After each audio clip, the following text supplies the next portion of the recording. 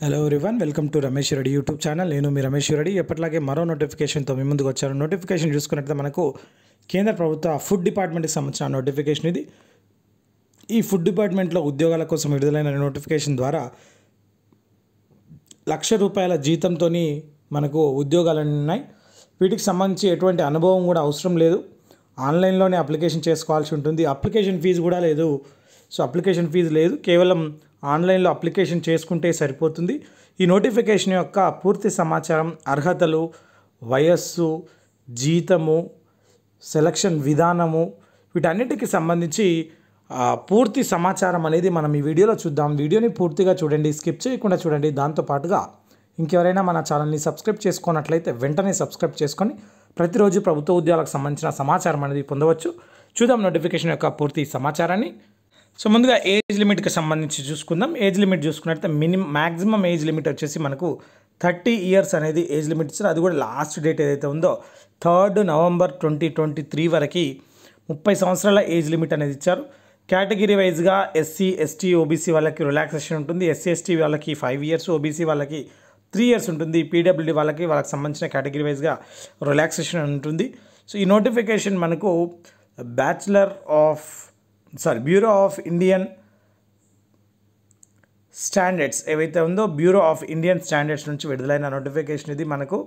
So దీన్ని ministry of consumer affairs food and public distribution department of consumer affairs government of India పరిధి లోపల పనిచేసే ఈ సంస్థ మనక్ భవన్ బహదూర్ షా జాఫర్ మార్గ్ న్యూఢిల్లీలో ఉంది. సో దీని లోపల మనకు ఉద్యోగాల కోసం నోటిఫికేషన్ విడుదల చేశారు. Young and dynamic persons for the post of scientist B specified category వైజ్గా తీసుకున్నారు. దీనికి సంబంధించి శాలరీ కనుక చూసుకుంటే దాదాపుగా జాయిన్ అయిన తర్వాత ఇమీడియట్గా మనకు లక్ష ఐదు వేల ముప్పై మూడు రూపాయలతోని శాలరీ అనేది ఉంటుంది. ప్రజెంట్ ఢిల్లీలో ఇది.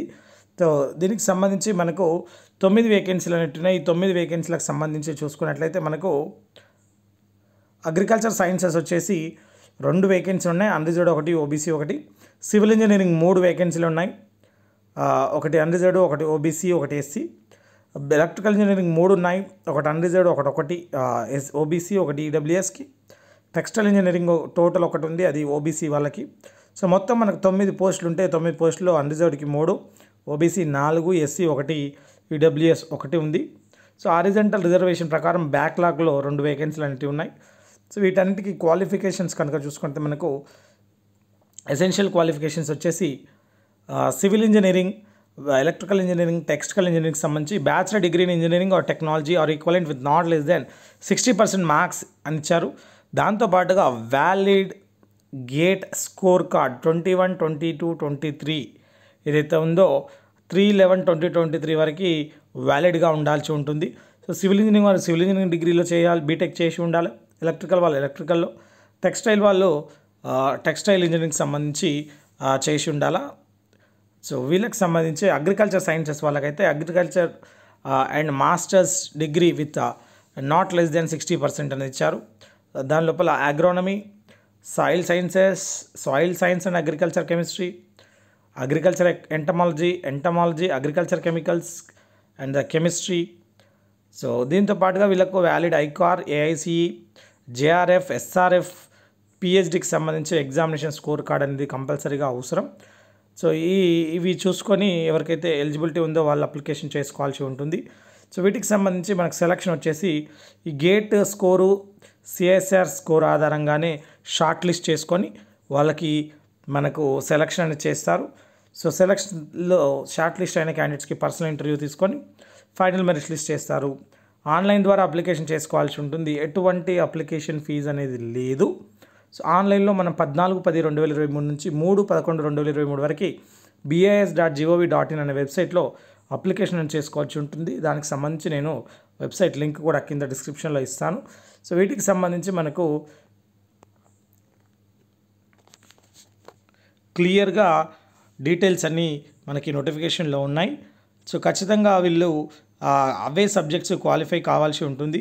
సో ఆన్లైన్లో మనము రిజిస్ట్రేషన్ చేసుకునేటప్పుడు మనకు సంబంధించి ఫోటో సిగ్నేచర్ కంపల్సరీగా అప్లోడ్ చేయాల్సి ఉంటుంది. దాంతోపాటుగా మనకు సంబంధించిన education details GATE score card mark sheets degrees PG ఏ సర్టిఫికేట్స్ ఉంటే ఆ సర్టిఫికేట్ సంబంధించిన అన్ని డీటెయిల్స్ క్లియర్గా మెన్షన్ చేయాల్సి ఉంటుంది. ఈమెయిల్ ఐడి ఫోన్ నెంబర్ అయితే క్లియర్గా మస్ట్ అండ్ షుడ్ కంపల్సరీగా అవసరం. ముందుగా రిజిస్ట్రేషన్ చేసుకోవాలి. తర్వాత మన డీటెయిల్స్ అని ఫిల్ చేయాల్సి ఉంటుంది. తర్వాత ఫైనల్ సబ్మిషన్ చేసుకోవాల్సి ఉంటుంది. కాబట్టి దానికి సంబంధించి మనకు సంబంధించిన అన్ని డాక్యుమెంట్స్ అనేది క్లియర్గా తీసుకెళ్ళాల్సి ఉంటుంది. సో ఎగ్జామినేషన్ సెంటర్స్ కూడా మనకు దాదాపుగా ఇన్ఫర్మేషన్ అనేది ఇస్తారు. ఎగ్జామినేషన్ అనేది లేదు కాబట్టి డైరెక్ట్గా పర్సనల్ ఇంటర్వ్యూ అనేది ఉంది కాబట్టి మనకు డైరెక్ట్గా పర్సనల్ ఇంటర్వ్యూకి సంబంధించిన ఇన్ఫర్మేషన్ అనేది క్లియర్గా మనకు పంపిస్తారు.